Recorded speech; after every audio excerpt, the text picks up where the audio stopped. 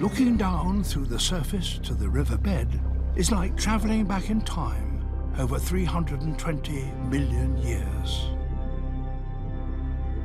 It was then, in an age long before even the dinosaurs evolved, that creatures like this first appeared in the waters of the Earth. It's an insect. A ferocious predator with jaws like a mechanical grab. It seems unlikely, but this animal's ancestors were among the first creatures ever to fly. But this one is not yet adult. It's a larva, and it doesn't spend all its life in the water. It has another life and another body above the surface. Early one morning, it climbs up a reed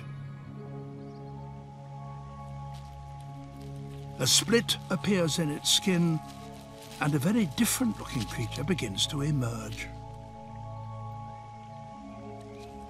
It has four lumps on its back that might perhaps ancestrally have become either gills or protective armor plates.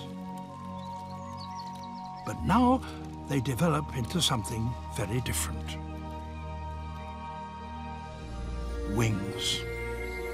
Liquid from its body is pumped down along veins to stretch them tight. As they dry in the sun, they harden.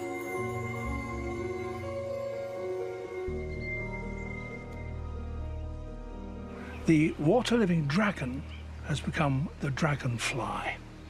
And the four-winged apparatus that it uses to get into the air is the earliest that we know.